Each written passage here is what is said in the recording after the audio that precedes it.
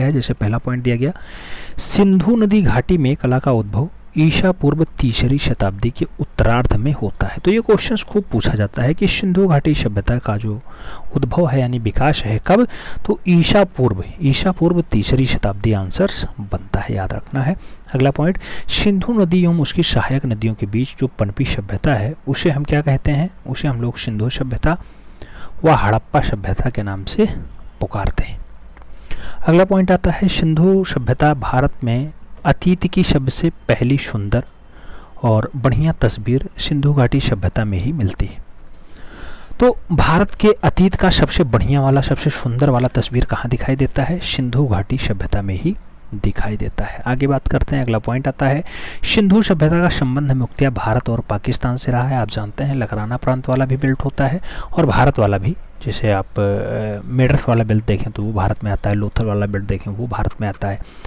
और बहुत सारे स्थान, जैसे सुरकुर्दा आप देखेंगे, गुजरात वाला बेल्ट होता है तो वो भी भारत में ही आता है। तो ऐसे भारत और पाकिस्तान में। आगे बात करते हैं, अगला पॉइंट आता है, सिंधु सभ्यता भारत की प्रथम नगरीय सभ्यता होती है तो पहली नगरीय सभ्यता भारत की कौन सी है? सिंधु घाटी सभ्यता होती अगला पॉइंट आपसे पूछा जा रहा है मित्रों, कि यह सभ्यता मुख्यतया किससे है? तो वास्तुकला यानी भवन निर्माण की कला के रूप में जानी जाती है। क्यों? क्योंकि यहाँ पे नगर बसाने की बढ़िया योजना थी और अच्छे अच्छे नगर भी मिले हैं, जिसमें छः महत्वपूर्ण नगरों की बात होती है। और दो प्रमुख नगरों की बात होती है। और बात करते हैं, सिंधु सभ्यता को हम लोग आद्य ऐतिहासिक काल के अंतर्गत रखते हैं। किसके अंतर्गत? आद्य ऐतिहासिक काल। याद रखना क्वेश्चन पूछा जाता है। अगला पॉइंट सिंधु सभ्यता के दो प्रमुख स्थल कौन कौन से हैं? तो पहला नाम जो है, मोहन जोदड़ो लगाना और दूसरा नाम जो है, हड़प्पा लगाना। मोहन जोदड़ो वाला होता है जिसे रखालदास बनर्जी उन्नीस सौ बाईस में खोजते हैं। सिंध प्रांत लकराना में पाया जाता है। और जो हड़प्पा होता है, इसे दयाराम सानी उन्नीस में खोजते हैं। मांडगोमरी जिला पाकिस्तान में पाया जाता है और ये राबी नदी के किनारे स्थित होता है। ठीक है? सिंधुवासी किस वृक्ष की? तो पीपल वृक्ष की पूजा करते हैं, याद रखना है। और अगर भगवान पूछा जाए तो पशुपति लगाना होता है पशुपति लगाना होता है। अब कोई पॉइंट बचेगा नहीं, हर एक पॉइंट से लगभग लेने का प्रयास किया गया है, डाटा। तो उम्मीद है कि समझ में सब कुछ आएगा। सिंधु सभ्यता की खोज की अगर बात करते हैं, सर जो है जनरल करगिंघम महोदय ने सर्वप्रथम हड़प्पा टीलों का पता लगाया। कब लगाया? अठारह में लगाया। अठारह में। उन्नीस सौ इक्कीस ईस्वी में राय बहादुर दयाराम साहनी ने हड़प्पा टीले का सबसे पहले उत्खनन का कार्य करवाया, जिससे यह सभ्यता प्रकाश में आ जाती है। सिंधु सभ्यता में सर्वप्रथम हड़प्पा टीले का जो खोज का कारण है, वो हड़प्पा सभ्यता के ही अंतर्गत जाता है। और मोहनजोदाड़ो की अगर बात करते हैं तो सिंधु सभ्यता का दूसरा महत्वपूर्ण स्थल माना जाता है, जिसकी खुदाई जो है उन्नीस सौ बाईस के आसपास आर डी बनर्जी यानी रखालदास बनर्जी के द्वारा होता है। सिंधु सभ्यता का अगर समय पूछा जाए तो बहुत सारे विद्वान, बहुत सारे मत आते हैं। सिंधु सभ्यता के समय में लेकर के विभिन्न विद्वानों ने अलग अलग मत दिया है, जिसमें माधव स्वरूप वत्स की अगर बात करते हैं तो पैंतीस सौ ईसा पूर्व से पच्चीस सौ ईसा पूर्व तक का डाटा देते हैं। मार्टिन व्हीलर के अनुसार जो है पच्चीस सौ ईसा पूर्व से स्टार्ट होता है, पंद्रह सौ ईसा पूर्व तक जाता है। जैन मार्शल के अकॉर्डिंग जो है बत्तीस सौ पचास से जाता है और सत्ताईस सौ पचास तक, ये पूछा जाता है क्वेश्चन एक आध बार पूछा गया है। डीपी अग्रवाल के अकॉर्डिंग क्या होता है तो तेईस सौ पचास से स्टार्ट करते हैं और सत्रह सौ पचास ईसा पूर्व तक ये ले जाते हैं डीपी अग्रवाल जी। जबकि अन्य की अगर बात करते हैं तो जैसे रेडियो कार्बन डेटिंग के अनुसार अगर बात करें, सी चौदह के अकॉर्डिंग आता है तो उसमें आता है कि तेईस सौ पचास से सत्रह सौ पचास, जैसे नाम दिया गया डीपी अग्रवाल। और अगर एन की बात करते हैं तो इसके अकॉर्डिंग पच्चीस सौ पचास ईसा पूर्व से स्टार्ट होता है और जो है सत्रह सौ पचास ईसा पूर्व तक सिंधु घाटी सभ्यता का कालखंड माना जाता है। आगे बात करते हैं। सिंधु सभ्यता का सर्वाधिक मान्य तिथि कौन सा है? तो कार्बन डेटिंग वाला है, जो तेईस सौ पचास ईसा पूर्व से स्टार्ट होता है, सत्रह सौ पचास ईसा पूर्व तक दिखाई देता है। सिंधु सभ्यता मेसोपोटामिया तथा मिस्र की सभ्यताओं के समकालीन मानी जाती है। तो एक क्वेश्चन को पूछा जाता है, कौन सी सभ्यता मेसोपोटामिया की सभ्यता के समकालीन है? तो सिंधु घाटी सभ्यता बनती है। अगर कौन सी सभ्यता जो है मिस्र की सभ्यता के समान है तो आपको बताना होता है कि सिंधु घाटी सभ्यता, यानी इंडस वैली सिविलाइजेशन है। सिंधु सभ्यता के अगर आकार की बात करते हैं, मित्रों, जो आकार होता है, ये त्रिभुजाकार होता है। सिंधु सभ्यता का जो आकार है, वो त्रिभुजाकार है। क्षेत्रफल कितना है? वैसे ये क्वेश्चन नहीं पूछा जाएगा, लेकिन याद रखना, बारह निन्यानवे छः सौ वर्ग किलोमीटर, बारह निन्यानवे छः सौ वर्ग किलोमीटर, इसी क्रम में आप याद रखना। आगे बात करते हैं सिंधु सभ्यता उनकी सहायक नदियों की तो सिंधु में जो है जो सिंधु सभ्यता है, उसमें सिंधु बहती है, झेलम बहती है, चिनाब बहती है राबी बहती है, सतलज बहती है, उसके साथ ब्यास ब्यास को सतलज की सहायक नदी माना जाता है तो ये छः महत्वपूर्ण नदियाँ जो है सिंधु घाटी सभ्यता में बहती हैं। और बात करते हैं सिंधु सभ्यता के जो अन्य नाम है, सिंधु घाटी सभ्यता कहा जाता है, हड़प्पा की सभ्यता कई लोग इसे कहते हैं, कई लोग इसे कांश युगिन्य सभ्यता कह देते हैं, कई लोग इसे मेलुहा सभ्यता को कहते हैं और कई लोग इसे पकाई गई ईटों की सभ्यता भी सिंधु घाटी सभ्यता को नाम देते हैं। तो अलग अलग लोग अलग अलग नाम आ जाता है। और आगे बात करते हैं तो सिंधु घाटी सभ्यता का नगर विभाजन कैसा रहा है, आप देखेंगे तो सिंधु घाटी का जो नगर विभाजन है, दो स्तरों पर बना होता है। पहला पश्चिमी और दुर्ग टीला वाला, दूसरा पूर्वी और नगर टीला वाला। धौलावीर सिंधु सभ्यता का एकमात्र ऐसा नगर था जिसका विभाजन त्रिस्तरीय है। त्रिस्तरीय, ये दो स्तरीय नहीं है, तीन स्तरीय माना जाता है। और आगे अगर बात करते हैं तो दुर्ग टीला कैसे दिखाई देता है, आप देखेंगे तो ये आपका दुर्ग टीला है। ये वाला आपका, ये दुर्ग टाइप का दिखाता है तो ये दुर्ग टीला है। और ये पूर्वी नगर टीला है। ऐसे अगर लेटा हुआ दिखाई दे तो ये आपका पूर्वी नगर टीला हो जाएगा। तो दो स्तरीय यही होता है। जबकि धैलावेरा का है तो धैलावेरा जो है त्रिस्तरीय होता है, तीन स्तरीय होता है। आगे बात करते हैं अफ़गानिस्तान से प्राप्त जो है स्थलों में।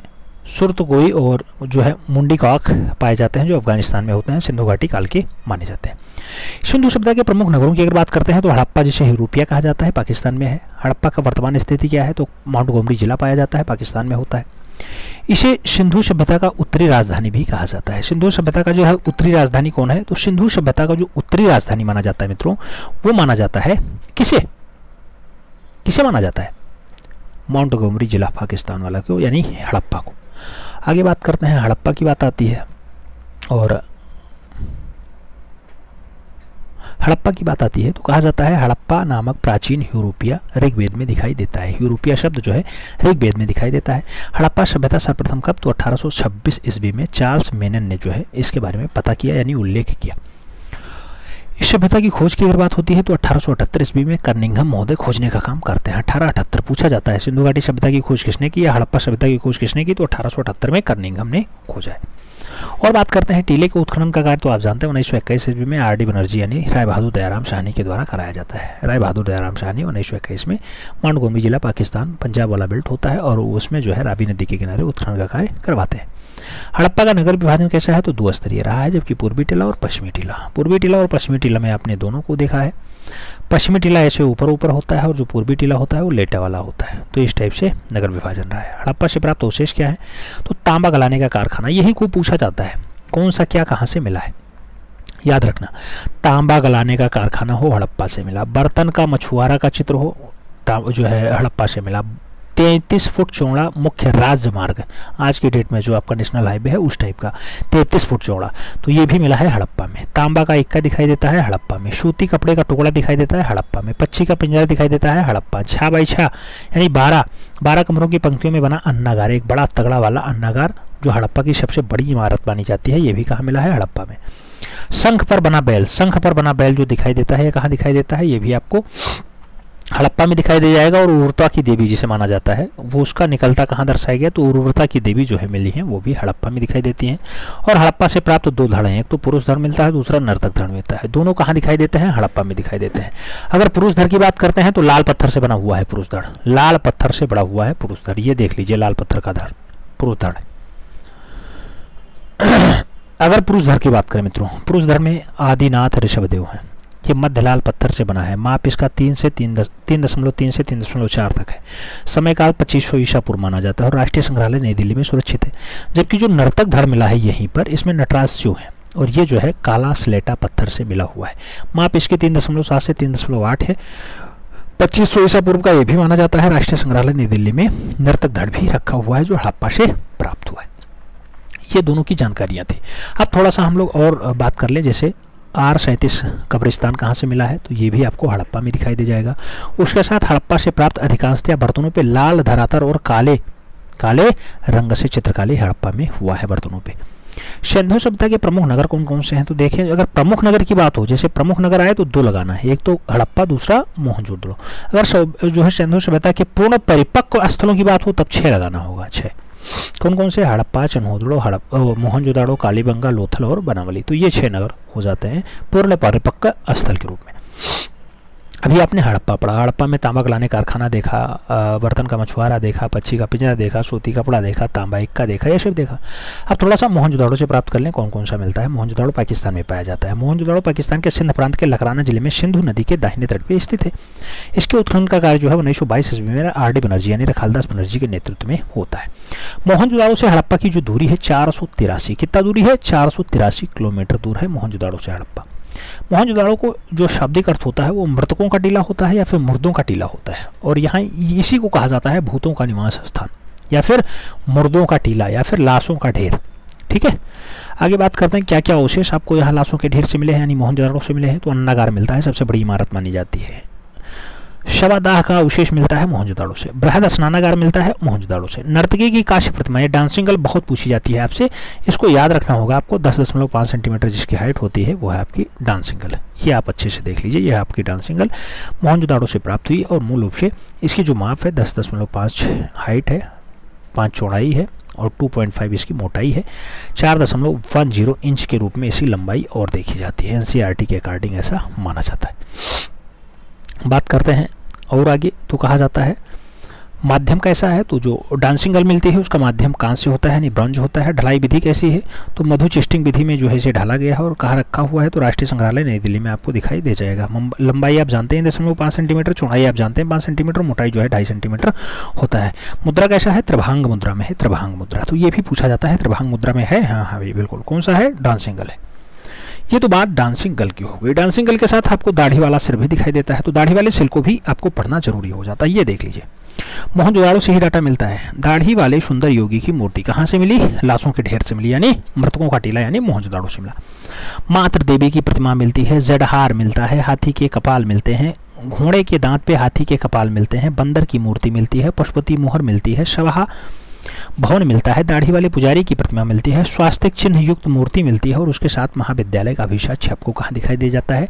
तो सबका सब मोहनजोदड़ो से दिखाई दे जाता है। सभी बिंदु आपको अच्छे से याद होने चाहिए, तब जाके आपका काम बन पाएगा, क्योंकि क्वेश्चन पूछेगा स्वास्थ्य का चिन्ह कहाँ मिला? तो स्वास्थ्य का चिन्ह युक्त जो मूर्ति आपको दिखाई देती है, वो मृतकों का टीला से दिखाई देती है। याद होगा तभी काम बन पाएगा, अन्यथा आप रह जाएँगे। अगला पॉइंट कह रहा है, बृहद स्नानागार। बृहद स्नानागार की अगर माप की बात करते हैं तो उनतालीस गुणे तेईस गुणे आठ फिट है। अगर मीटर में बात करते हैं, ग्यारह दशमलव आठ आठ जो है मीटर लंबा है। सात दशमलव ज़ीरो एक मीटर चौड़ा है और जो है दो दशमलव चार तीन मीटर गहरा है। ये बृहद स्नानागार की बात हो रही है, जो आपका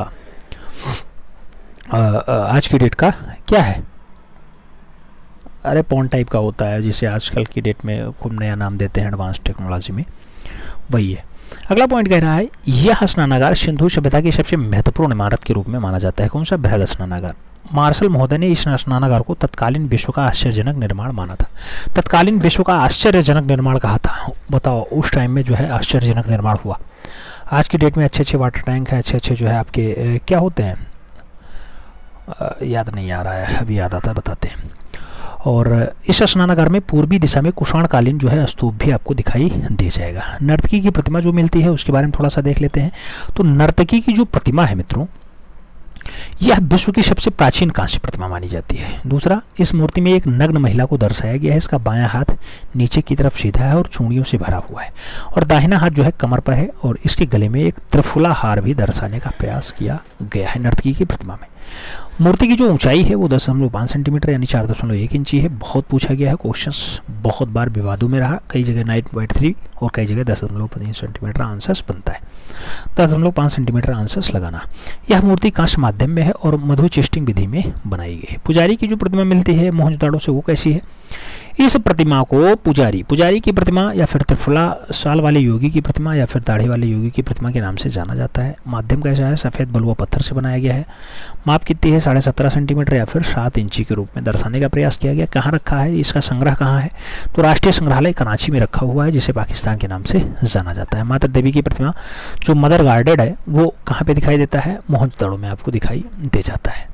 वो कहाँ पे रखा हुआ है? मदर गार्डेड तो ये मदर गार्डेड आपको लखनऊ में, यानी सॉरी नौ दिल्ली में दिखाई देगा नौ दिल्ली नौ दिल्ली न्यू दिल्ली। ठीक है, अच्छे से देख लो, ये है आपकी मदर गार्डेड यानी माता देवी की प्रतिमा। फिर बढ़ाते हैं, आगे बढ़ते हैं। माध्यम कैसा होता है ये?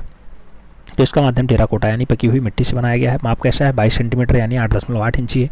कहाँ पे संग्रहित है? तो राष्ट्रीय संग्रहालय नई दिल्ली में आपको दिखाई दे जाएगा। कौन सा? मृणम मूर्ति मृणम मूर्ति आगे बात करते हैं। अगला पॉइंट आता है टेराकोटा माध्यम में बनी यह मूर्ति।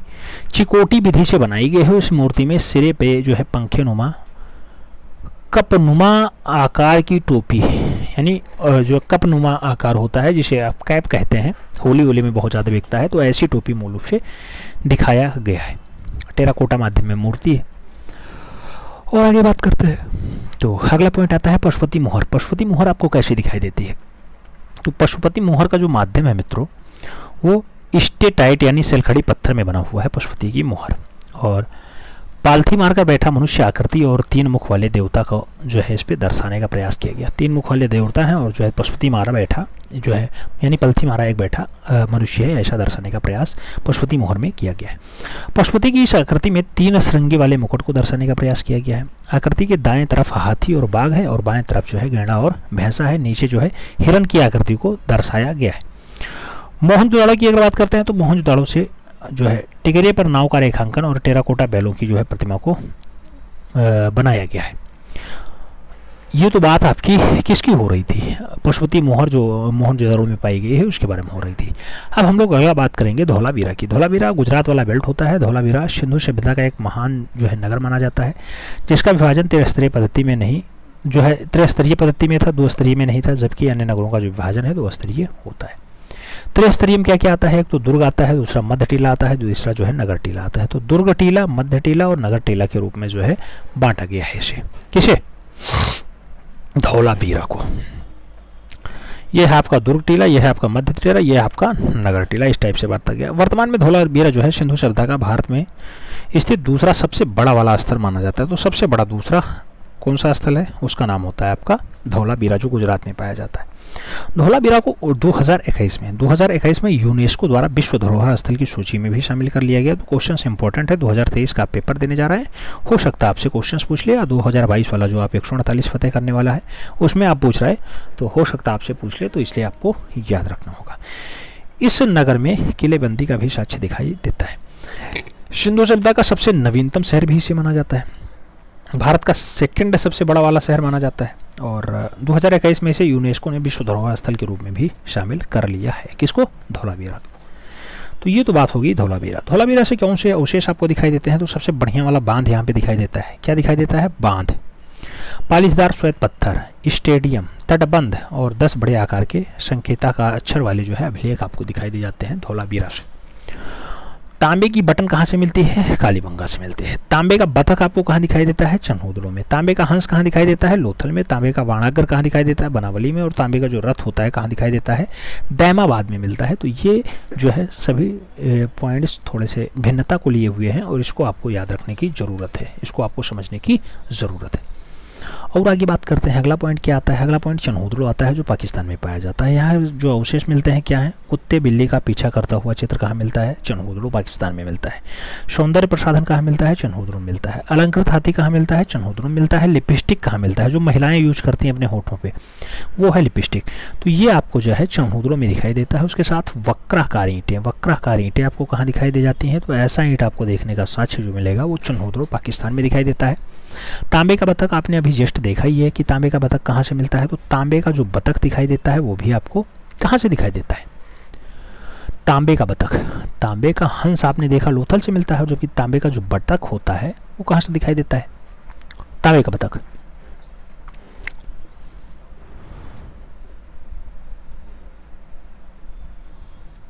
अरे तांबे का बतख आपसे पूछा जा रहा है ना चनहुद्रो आंसर लगाओ मन का बनाने कारखाना कहाँ मिलता है? चनहुद्रो दिखाई देता है। बिना गढ़ वाला अकेला सिंधु नगर कौन सा?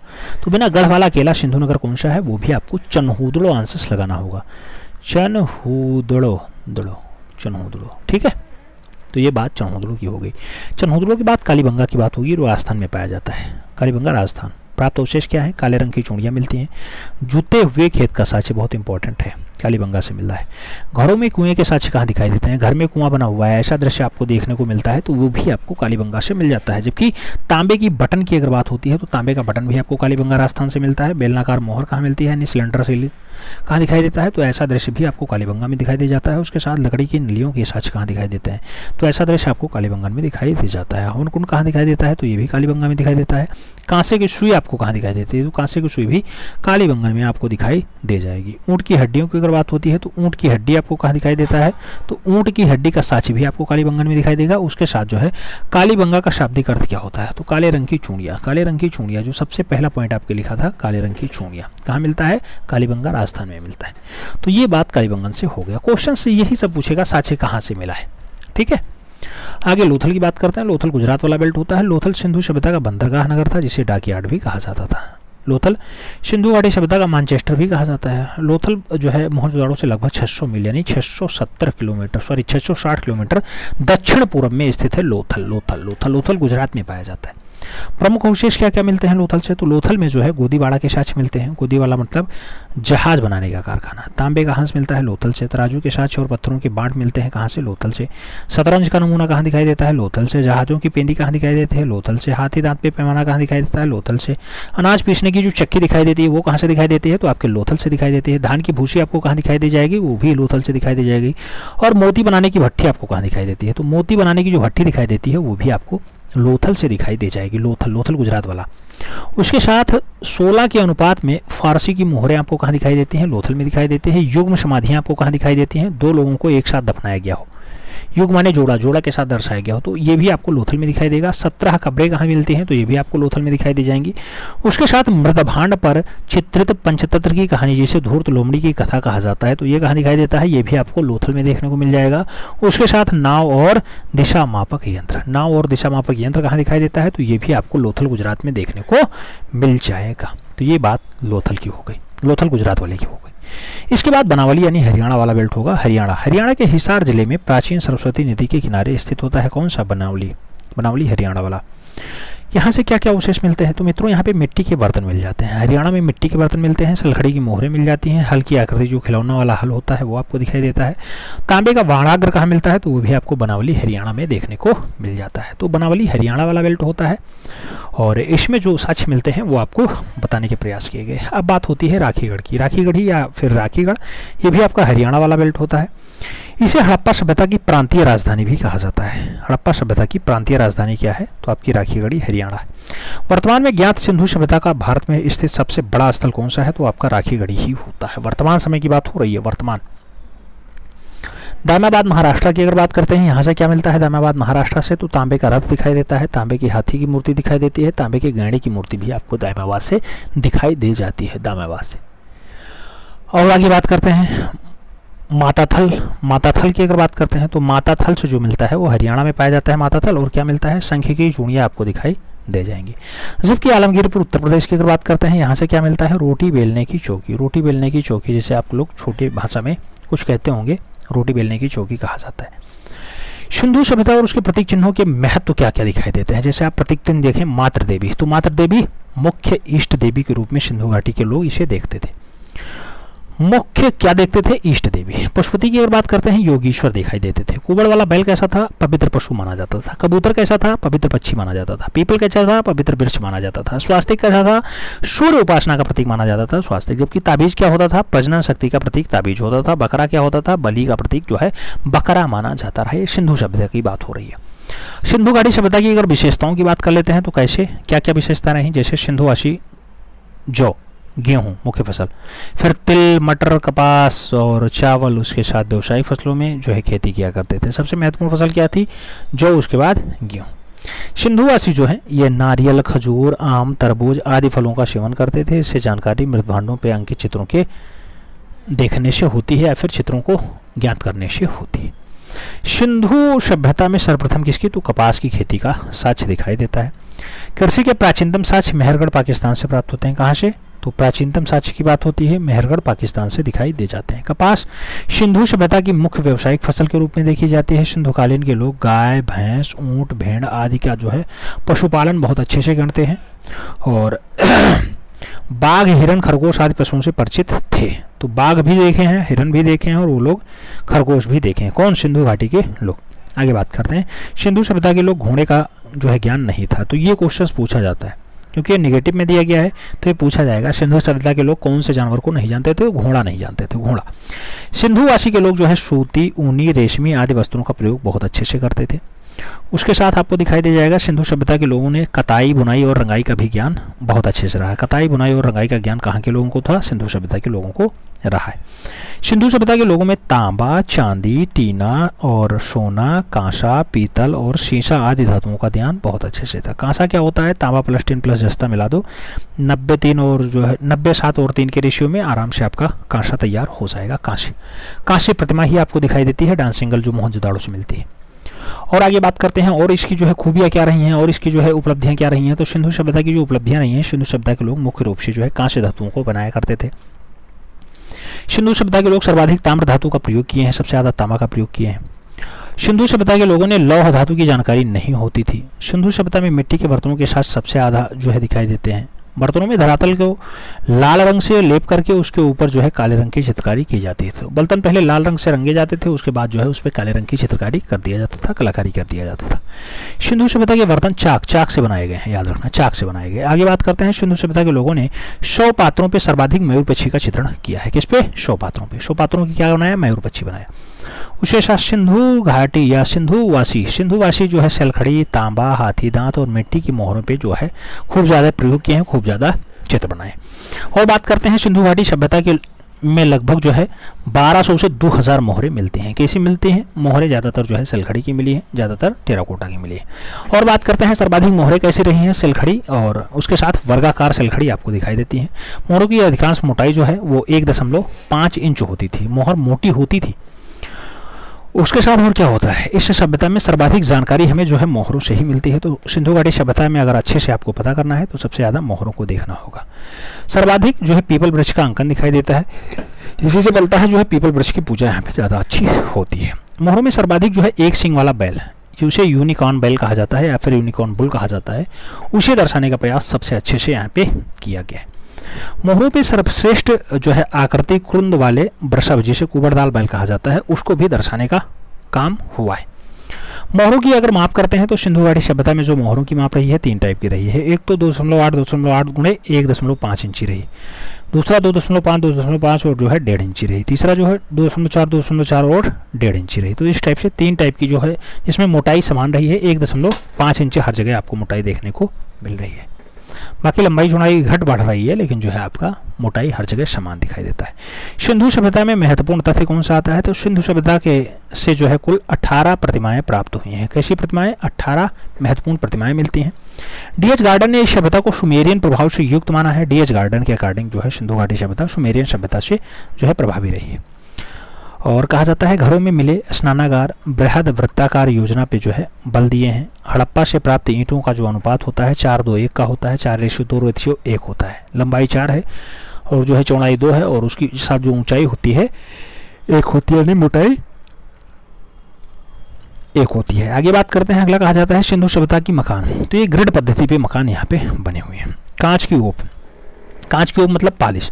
पालिश चढ़ाने की जो शुरुआत है, वो सिंधु सभ्यता से ही मानी जाती है। सिंधु सभ्यता ही जो है पालिश चढ़ाने का काम होता रहा है। तो कांच के ओप जिसपे पालिश लगा के बढ़िया से काम होता था, सिंधु काल में भी होता था। और आगे बात करते हैं, तांबे की कुल्हाड़ी। तांबे की कुल्हाड़ी की अगर बात होती है तो रोपड़ पंजाब से मिलता है तांबे की कुल्हाड़ी। और अगर अच्छे से बात करते हैं तो जो है घोड़े की हड्डियाँ कहाँ से दिखाई देती हैं? सुरकोटता से जो है आपको घोड़े की हड्डियाँ दिखाई दे जाती हैं। सिंधु सभ्यता के लोग मकान का निर्माण किस आकार में करते थे? तो आप जानते हैं, मकान का निर्माण जो है, यलाकार में करते थे, यलाकार में। इधर से इधर को। ठीक है, आगे। भीषण अग्निकांड के साक्ष्य आपको कहाँ से दिखाई देते हैं? तो रोजदी से आपको भीषण अग्निकांड के साक्ष्य दिखाई दे जाते हैं। और आगे बात करते हैं, सिंचाई के लिए प्रयुक्त नहर का प्रयोग कहाँ से दिखाई देता है? मालवाड़। मालवाड़ कहाँ पड़ता है? राजस्थान। राजस्थान नामक स्थान से आपको दिखाई दे जाता है। मालवाड़ नामक स्थान से सिंचाई का साक्ष्य, जहाँ पे नहर से सिंचाई हो रही है, जैसे आज की डेट में होती है। सिंधु सभ्यता कैसी रही है? तो मात्र सत्तात्मक रही है, यानी माता जो है प्रधान रही है। माता के नाम से बच्चे जाने जाते रहे। और आगे बात करते हैं, सिंधुवासी जो है, पशुपति और मातृ देवी की पूजा किया करते थे। मूर्ति पूजा का प्रारंभ कब से होता है? तो सिंधु घाटी सभ्यता से ही मूर्ति पूजा का प्रारंभ माना जाता है। मनके बनाने का कारखाने लोथल और चनौदरे से प्राप्त होते हैं। आप जानते हैं कि मनका बनाने कहाँ से मिलता है? लोथल और चनौदरों से। धान की भूसी का साक्ष्य कहाँ से दिखाई देता है? लोथल और रंगपुर से आपको दिखाई दे जाएगा। सिंधु सभ्यता की लिपि कैसी रही है? तो लिपि आप जानते हैं चित्रात्मक रही है, जिसे जो है पेक्टोग्राफ कहा जाता है। तो ऐसी लिपि रही है, जिसमें जो है तीन चित्रित लिप प्राप्त होते हैं या फिर चित्र प्राप्त होते हैं। कितने? तीन सौ छियानवे। चित्रात्मक लिपि रही है तो सिंधु घाटी में कितने चित्र तीन सौ छियानवे चित्र मिलते हैं। आगे बात करते हैं। यह लिपि दाएँ दाएँ से बाएँ फिर दूसरी लाइन में बाएँ से दाएँ लिखी जाती है। पहले पहले कैसे लिखी जाती है? पहले आपको दाहिने से बाएँ लिखना है। पहले आपको दाहें, ये दाया यहाँ से बाया लिखो। फिर दूसरी लिपि में बाएँ से दाहिने लिखो। इस टाइप से लिखना है। वर्तमान में भारत में खोजे गए हड़प्पाकालीन सबसे विशाल जो है नगर कौन सा है? तो राखीगढ़ी आपका जो है भारत का सबसे विशाल नगर माना जाता है, जो सिंधु काल का है। सिंधु सभ्यता के लोग तलवार से परिचित नहीं थे, ये भी क्वेश्चन पूछा जाता है, इसलिए आपको कराया गया है कि किससे परिचित नहीं थे? तलवार से। सिंधु घाटी सभ्यता, यानी हड़प्पा सभ्यता में सर्वोत्तम कला कृतियाँ तो कहाँ पे दिखाई देती है? सबसे ज़्यादा जो कलाकृति आपको दिखाई देगी, वो कहाँ पे दिखाई देगी? मोहरों पे। इसीलिए मोहरों की जो ऊंचाई है 1.5 इंच हर जगह दिखाई देती है। आगे बात करते हैं, अगला पॉइंट आता है, सिंधु सभ्यता में चित्रकला संबंधी सर्वाधिक जानकारी किस पे दिखाई देती है? तो बर्तनों की चित्रकारी पे दिखाई दे जाती है।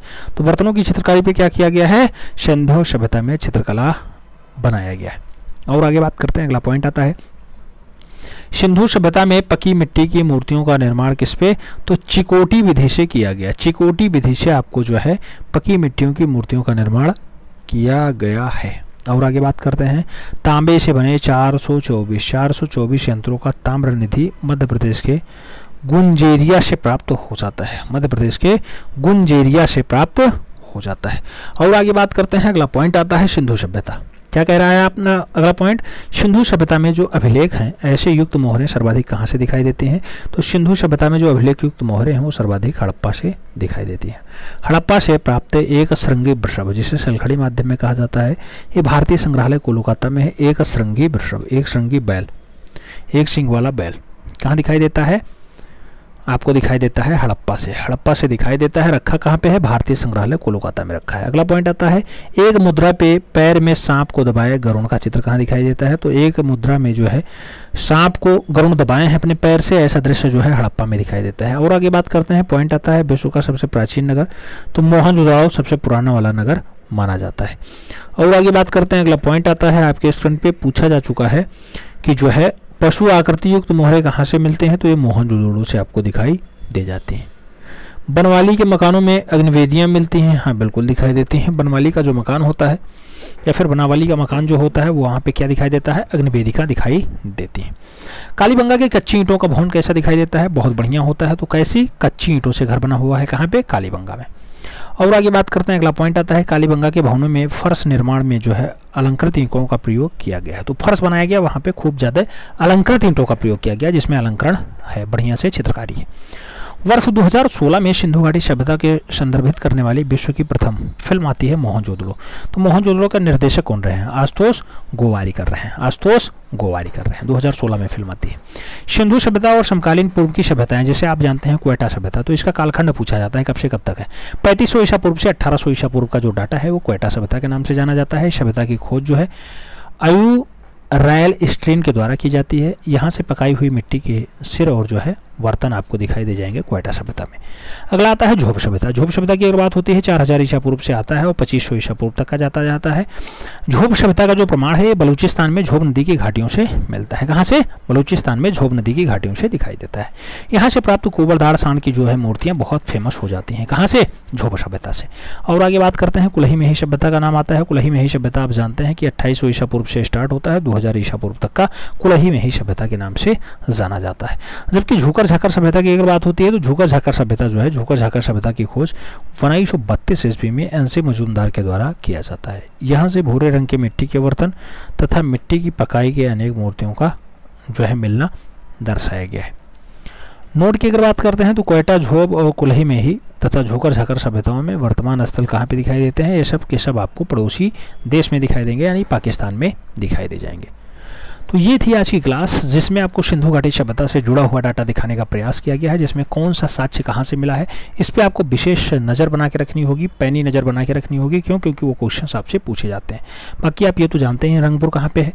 रंगपुर आपका कहाँ पड़ता है? काठियावाड़ा, गुजरात में पड़ता है। लोथल कहाँ पड़ता है? ये भी आपका अहमदाबाद, गुजरात पड़ता है। सुरकोटदा कहाँ पड़ता है? कच्छ, गुजरात पड़ता है। तो इस टाइप से आप जो है, अगर पूछा जाए, दैमाबाद कहाँ पे है? तो आप जानते हैं, दैमाबाद महाराष्ट्र में।